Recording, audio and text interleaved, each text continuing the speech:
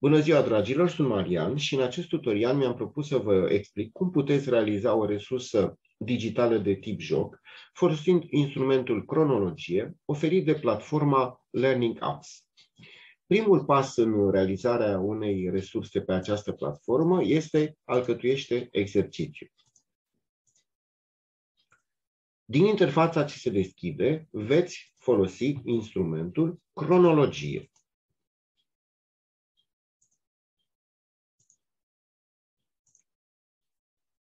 Fereastra ce se deschide vă oferă întotdeauna în partea de sus trei exemple care să vă ajute să puteți vizualiza acest tip de resursă din perspectiva elevului și totodată să și rezolvați resursa, să vedeți cum ar trebui să lucreze elevul.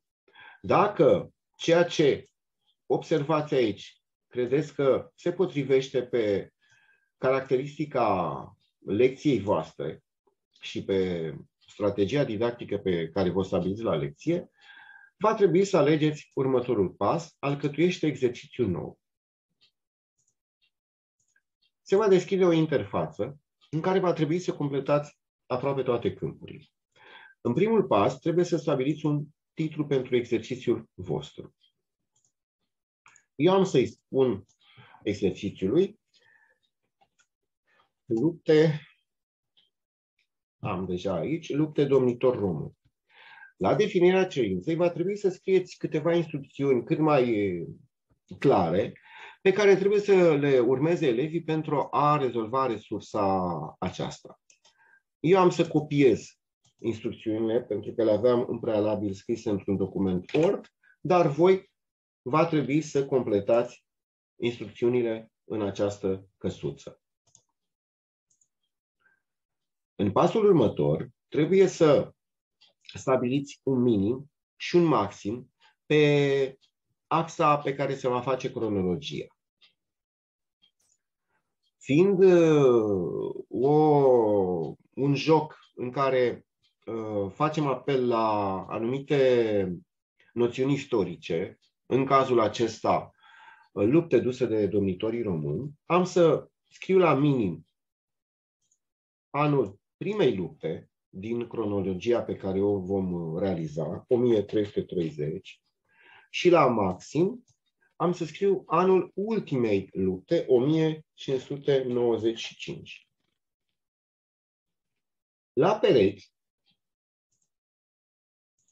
veți scrie elementele care doriți să fie ordonate în exercițiu.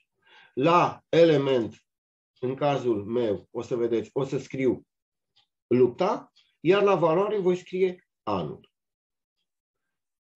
Puteți să introduceți conținut de tip text, conținut de tip imagine, text la audio înseamnă să scrieți textul și platforma să vi-l conversească într-un fișier audio, dar atenție mare că nu aveți suport pentru limba română. Iar la fișier, fișiere audio și video, va trebui să încărcați respectivele fișiere în platforma YouTube pentru a le putea folosi. Fie să dați căutare după fișier după ce l-ați încărcat în platforma YouTube, fie să copiați linkul să-l puneți direct aici, dacă e vorba de fișierele voastre. Dacă folosim efectiv fișiere de pe YouTube, mergem și căutăm pe YouTube direct sau căutăm uh, fișierul și copiem linkul și îl lipim la URL. În cazul acesta am să folosesc fișier de tip text. Uh, am să scriu aici uh, primul element, posada, în anul 1330. Deci, anul, uh, lupta și anul. Adaugă alt element. Tot text provine în anul 1395. Alt element, vaslui podul înalt.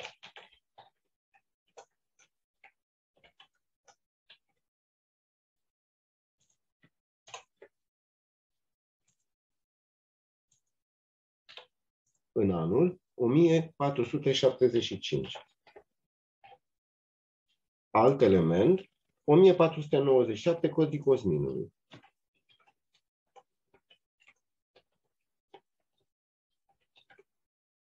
O 1497.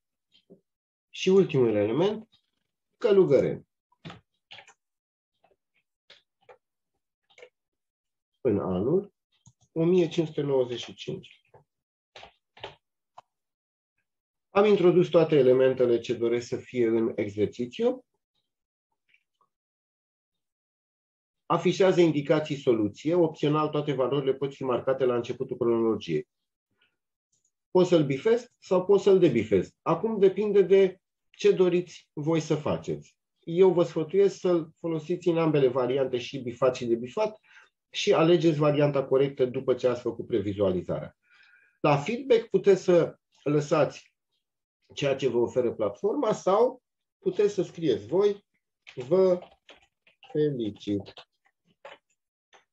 cu drag Marian. La asistență puteți să le mai dați câteva indicații. Dacă nu vă descurcați, puteți folosi manualul manual. Dacă nu vă descurcați, puteți folosi manual. Mai facem o previzualizare, să nu avem, avem uh, vreo misiune de litere. 1330, Posada, 1330, Rovine, 1395, Vasui Pod înalt, Codrii Cosminului, Călugăreni. Vă fericit cu drag Marian. Dacă nu vă descurcați, puteți folosi manualul.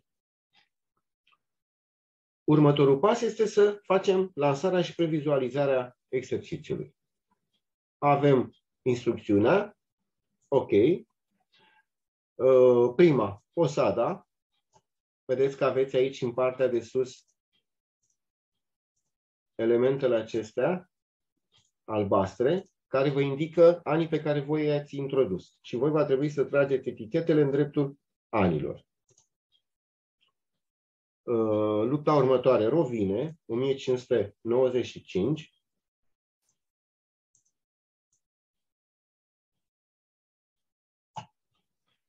următoarea luptă, Vaslui Podul Înalt, la 1475,